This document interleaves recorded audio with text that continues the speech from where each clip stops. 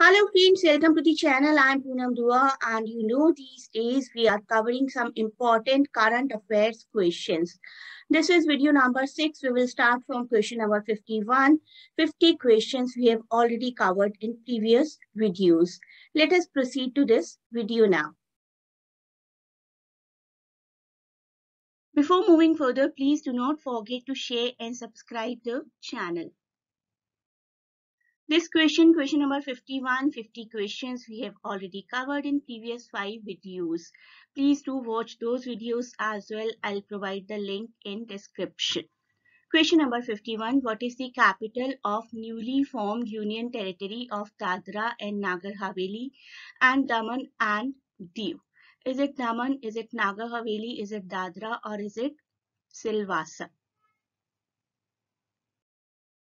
The correct answer is option A, Daman. This is what it is. The two union territories had previously shared common administration, uh, administration and government officials. The town of Daman was chosen to be the capital of new combined union territory. The correct answer option A, Daman. Next question, question number 52. The Unbox Me campaign, which was launched recently, is associated with which day? International Transgender Day of Visibility, Zero Discrimination Day, World Humanitarian Day, or International Day for People of African Descent. The correct answer here is International Transgender Visibility Day and the date also you can learn because maybe that can be the question in your exam. So option A, International Transgender Day of Visibility is the right answer. It is observed on March 31.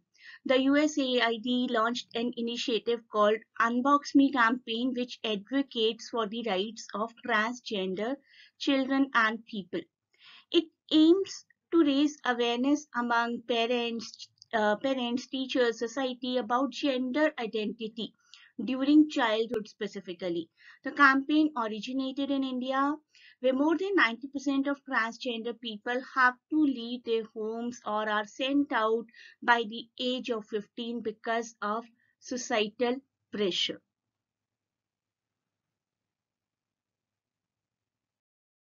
Question number 53. As of 2022, which country is the world's biggest opium producer? Is it China? Is it India? Is it Afghanistan? Or is it Nepal?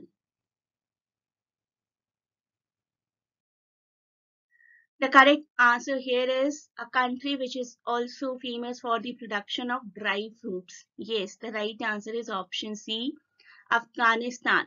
Afghanistan is world's biggest opium producer and a major source for heroin in Europe and Asia. Production uh, spiraled over the past 20 years despite billions of dollars spent by um, United States of America trying to stop this poppy cultivation, but it never happened.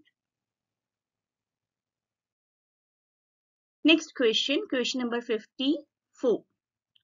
Which company has launched the Startup School India initiative which aims to gather relevant information on startup building into a systematic curriculum?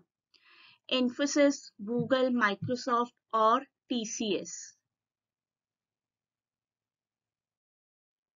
The correct answer here is Google.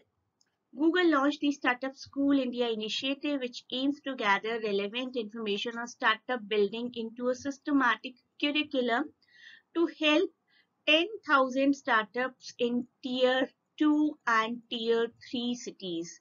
Correct answer here is option B, Google. Next question, question number 55. India's first autonomous navigation facility, Tihan, has been inaugurated in which institute? IIT Madras, IIT Hyderabad, IIT Bombay or IIT Delhi? The correct answer here is option B, IIT Hyderabad.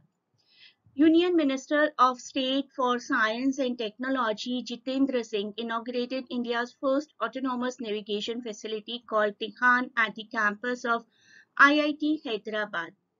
All these questions are really going to be very important for you. बहुत ही recent current affairs हैं और बहुत chances हैं इन सभी questions के, इन सभी question में से किसी भी अपकमिंग एग्ज़ाम में कॉम्पिटेटिव एग्ज़ाम में be it C U C E T be it U G C NET और be it any other competitive exam UPSC भी तो किसी भी एग्ज़ाम के लिए आप इन क्वेश्चंस को जो कि बहुत ही रिसेंट करंट अफेयर्स है, उनको प्रिपेयर करेंगे तो it will be very very useful for you Next question, question number 56. SBI General Insurance had appointed whom as Managing Director and Chief Executive Officer? Kundan Rawat, Sanjay Kumar, Paritosh Tripathi or Vijay Kumar? The correct answer here is option C. Paritosh Tripathi, SBI General Insurance had appointed Paritosh Tripathi as Managing Director and Chief Executive Officer recently. Let us come to a literature question. Who is the author of the book Getting the Bread, The Gen Z Way to Success? Rashmi Verma, Ashoka Sharma, Prarthna Batra or Mohit Joshi? Gen Z Way to Success, Getting the Bread. This book is written by Prarthna Batra, young YouTuber Prarthna Batra's debut book Getting the Bread, the Gen Z Success, Gen Z Way to Success was launched by sporting icon Sakshi Malik recently. Next question, question number 5858. Mission Vatsalya, which has been seen in the news recently, is a scheme implemented by which union ministry and what the scheme is, that also we will come to know. Let us see the options first.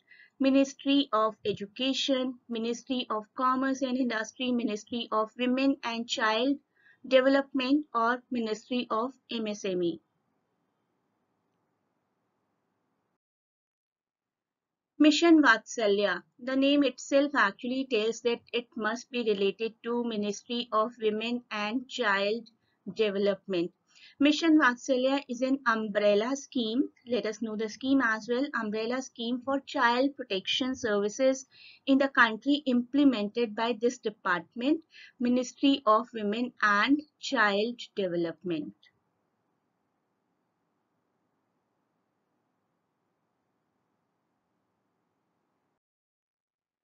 Next question, question number 59 and an interesting one. Who became the first woman and second Indian to feature on the wall of former chief economists of the IMF International Monetary Fund. Is it Geeta Gopinath? Is it Padmasree Warrior? Is it Komal Mangtani or Divya Surya Devara? Out of these four, which uh, is the first and second, first women and second Indian to feature on wall of former chief economists? And this proud woman is Geeta Gopinath. Geeta Gopinath.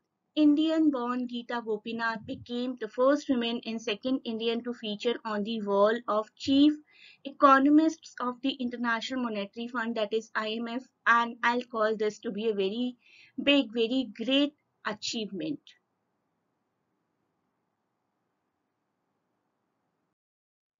Question number 60, the last question of this video. Which country has been hit by cyclone Emnati? Cyclones ke baare mein information rakhna bahut important hai aapke liye. Recent cyclones kaun si country mein aaye the? What was the name of the cyclone? All that you need to keep an eye. Uh, let us see the options Philippines, Madagascar, Indonesia or Japan. Out of these four we are to tell cyclone Emnati hit where? The correct answer here is, as you can see, is Madagascar cyclone Emnati. Madagascar witnessed its fourth cyclone in five weeks as Emnati makes a severe landfall as well. Madagascar is hit by numerous cyclones between November and April every year.